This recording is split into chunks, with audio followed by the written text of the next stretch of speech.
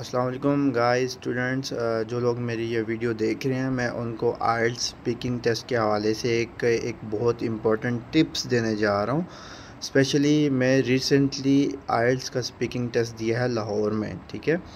تو آپ کو زیادہ بینڈ سکور حاصل کرنے کے لیے ایک میری سجیشن یاد رکھنی ہے کہ یہ چاہے یہ کوئی بھی ہو پی ایچ ڈی کا اسٹوڈنٹ کوئی نہ ہو، یہ ہر ایک پہ اوپر اپلائی ہوتا ہے۔ وہ یہ کہ اگر آپ کسی بھی جگہ ٹیسٹ دینے کے لیے جاتے ہیں نا، تو انہوں نے ایک ایک ایسا ماحول انوائرمنٹ بنایا ہوتا ہے کہ جس طرح کہ اگر آپ ایک بھوت بنگلہ میں جاتے ہیں نا، ایک انوائرمنٹ بنا ہوا ہوتا ہے، ٹھیک ہے؟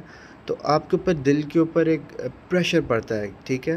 آپ گھبراتے آپ کے ہاتھوں سے پسینہ نکلتا ہے، تو آپ نے ایسا کوئی بھی کام، فکر والی بات نہیں کرنی۔ سب سے پہلے آپ نے یہ کرنا ہے کہ بالکل اوپنلی چل چل ہو کے جانا ہے آپ نے، ٹھیک ہے؟ تو وہ ایک ایسا انوائرمنٹ بنایا ہوتا ہے، سب لوگوں نے کوٹ پہنا ہوتا ہے، کارڈ لگایا ہوتا ہے، آپ سے بات کرتے ہیں، ادھر بیٹھے ادھر بیٹھے ہیں ٹھیک ہے؟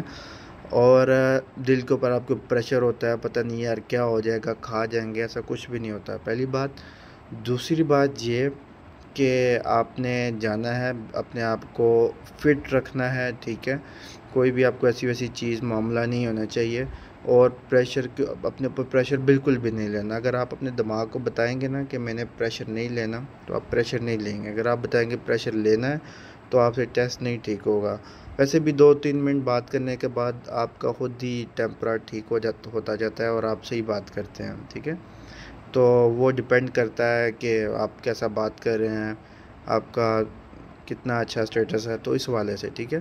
تو آئل اسپیکنگ ٹیسٹ کی یہی ٹپس ہے کہ پریشر نہیں لینا، دوسرا گڈ لکنگ بن کے جانا ہے، تیسرا ٹیسٹ آپ نے اچھا دینا ہے، باتیں اچھی کرنی ہے جتنا زیادہ ہو سکے اتنا بولنا ہے، ٹھیک ہے؟ اور پریشان بالکل بھی نہیں ہونا، ٹھیک ہے؟ انشاءاللہ آپ اچھا سکور کریں گے۔ باقی اپنی جو تیاری ہے وہ، جو listening reading L R W ہے، اس کے اوپر پوری تیاری اپنی رکھیں، ٹھیک ہے؟ میں انشاءاللہ مزید آئلس کے اوپر جو میرا پرسنلی ویو ہوگا، میں انشاءاللہ اس کے اوپر اور مزید ویڈیوز بناؤں گا، ٹھیک ہے؟ تو آپ بے فکر ہیں انشاءاللہ۔ اور کسی کے کسی کسی کو کوئی کوشچن ہو تو وہ کمنٹس میں پوچھ لیں۔